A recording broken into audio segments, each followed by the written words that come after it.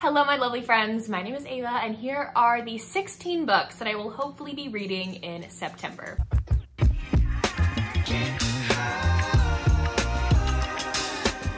September is here, everyone. Okay, so um, I honestly, personally love September because September is my birthday month.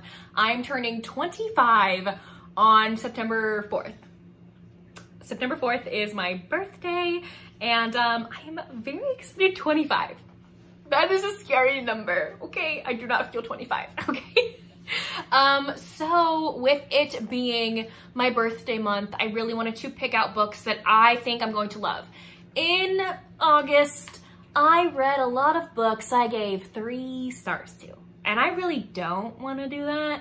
So um, I specifically picked out books that I think I will honestly like love and I hope I do. Let's get into these books. We're gonna first start out with the two books that I'm going to be buddy reading with friends. So first is Lizzie Blake's Best Mistake by Mazey Eddings. This is going to be a buddy read with Zay over at Whitty Reads. I'll link her channel down below. She just started her booktube channel.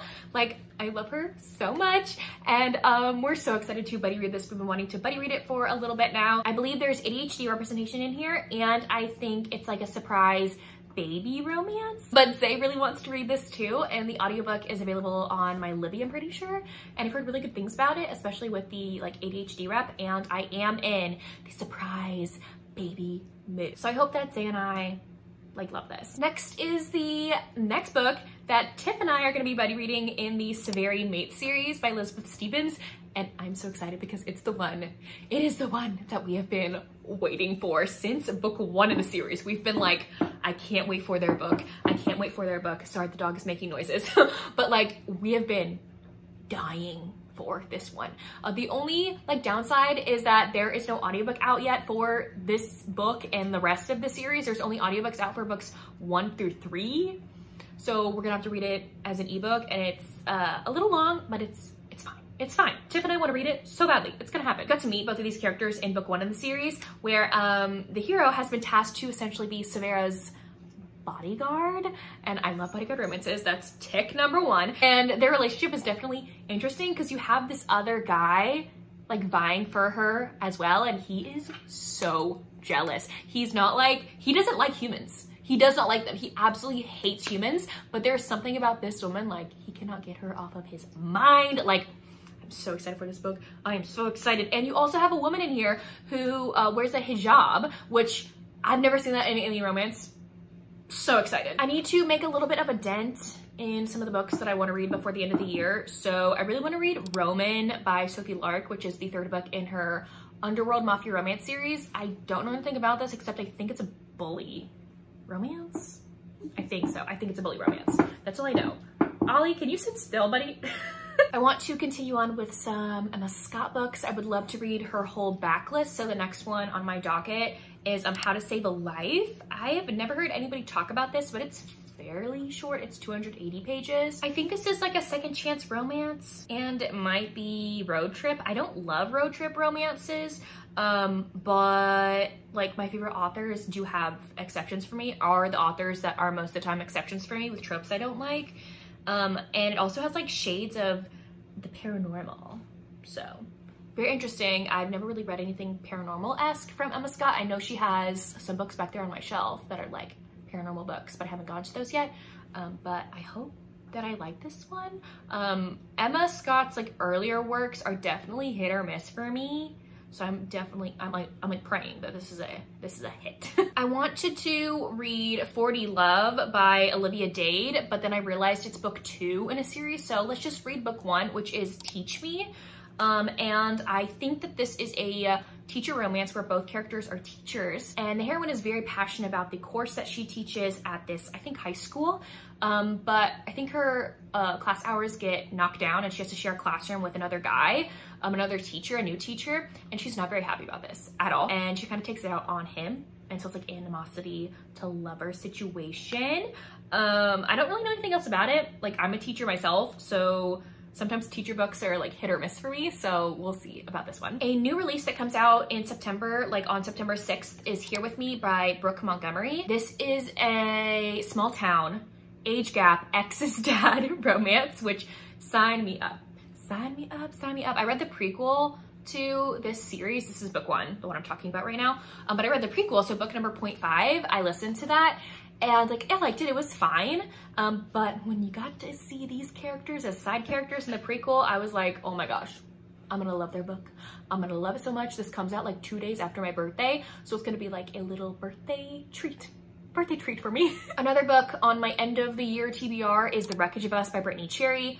I really want to read more Brittainy Cherry's books. I want to try and read her entire backlist. I'm fairly close, and this one's on any play. I think it's the only book on any play that Brittainy has that I have not listened to yet, so I need to do that. And I think this is a second chance romance when they fell in love when they're teens and they are adults and they fall in love again. Sounds like a typical Brittainy Cherry book to me, so let me know how you feel about this one, because um, I haven't really heard a lot of people talk about this book specifically by Brittainy. I've heard so many amazing things about Give Me Butterflies by Jillian Meadows. Like, it looks so cute. I think both um, characters work in a museum and then they like fall in love. It sounds just so cute. I've heard great things from Lizelle and from Morgan and from my friend um, Tabitha on Bookstagram. So like, if all three of those ladies love this book so much, like I am going to also. And has like something to do with butterflies. Like I love butterflies. Like I feel like this book is gonna be definitely like for me and it's Grumpy Sunshine.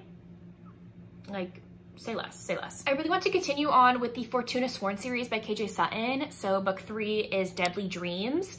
I read book two a while ago and I don't remember what happened in it. So I really hope it doesn't like mess me up for reading this book. But I wanted to read the book that's gonna come out in the next couple months um, or a month. I don't know. It comes out soon, the most recent book. And I was like, oh wait, I haven't even finished the series yet. How can I read the arc for this if I haven't, I haven't read the rest of the series? So I'm on a mission to finish the rest of the series. This is a fantasy romance series that um, is about Fortuna who has the gift of like having nightmares or like figuring out what someone's biggest fear is and using it against them. She's got a nightmare. They're like very rare magical creatures and she ends up going to the Fey realm um, in order to save her brother in book one. And by doing so, she has to marry like basically the king of the dark fae. But then the series turns into like a love triangle quartet thing. I'm not really a fan of love triangles, but I'm loving how KJ Sutton is like going about this because I honestly have no idea who she's gonna pick at the end of this, like no clue. One that looked really cute that came out recently is Getting It On With Gargoyles by um, Hazel Mack. This is a sweet small town gargoyle monster romance. Like yes. This is about Shepard and Thea. Um, and Thea ends up going into like a monster town when she's trying to find her sister and she ends up meeting Shepard who is not a human. He's a gargoyle. It looks like this has a cinnamon roll possessive hero, which are my favorite kinds of heroes. Another monster romance that I want to read is The Orc Prince by Quay Hudson. I think that's how you pronounce it. I'm so sorry if I'm butchering that. Um, this is about Arya and Igor. Also, can we talk about this cover? This cover, drooling. Like, it's so stunning. It is stunning. It says a chance meeting leaves Arya in the hands of the mysterious monster that haunts her lands. Will life finally give them the peace they both crave or will their past catch up with them and ruin everything? Like, Come on. I want to read this so bad. I, I want to read this so badly. it looks so good. I want to pick a arc that's definitely past due reading, like a arc once a month for me to like get caught up on all my arcs. So an arc that was sent to me like maybe a year ago, and I'm so sorry, is The Vikings Stolen Princess by Sarah Rodi. This is just a Viking romance. I don't really know what it's about. I don't want to know what it's about, um, but I'm just picking an arc to read once a month so I can like get my list like checked off with all those arcs. I have a list on my computer with all of the arcs that I own that I have not read yet. And like, I feel bad that I haven't read them yet. And this book was sent to me like a year ago. And I even have the arc for book two in this series that comes out fairly soon. So like, I need to, I need to get, I need to get to it. And it has to do with like a princess. It's royalty. So I hope I love it. Um, I really am liking the like Harlequin historicals with Vikings and stuff. I think like the research is done like phenomenally well in those. Okay, one that I have been wanting to read for a while is Indigo by Beverly Jenkins. I definitely want to read this before I go to ApollyCon next year and um, with it being my birthday month, I thought it would be the perfect opportunity to read a book that I think that I am going to love. I honestly don't really know all that much about it.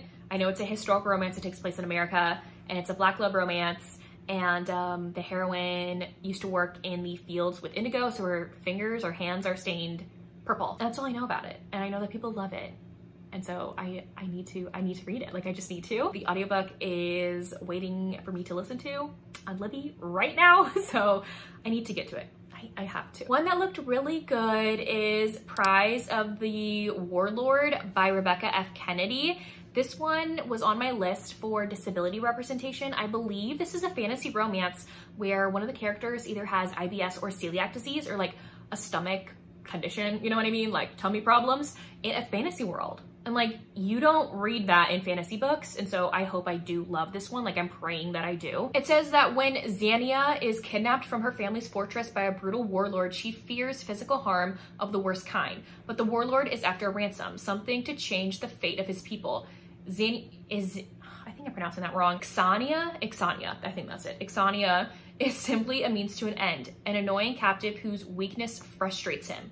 When he starts teaching her to fight, it's painful for both of them until their mutual anger and frustration ignites into a new kind of fire. Okay. Mm-hmm. Yes, please. Yes, please. then an audiobook that looks pretty good on my Libby is The Truth About Love and Dukes by Laura Lee Guhrke. I specifically wanted to read book two, but I was like, let's go read book one first. This one's about Henry, who is a duke who wouldn't be caught reading the widely popular Dear Lady True Love column, but when its advice causes his mother to embark on a scandalous elopement, an outraged Henry decides the author of this tripe must be stopped before he can, she can ruin any more lives.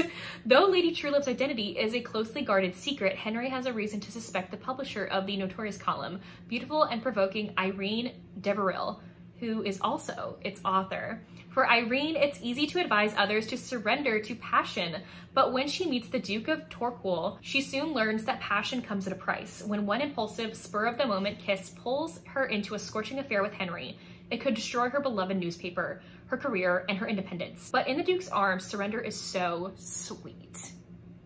That sounds good. Like, I also want to read a book by this author. I, I own, I think, one or two.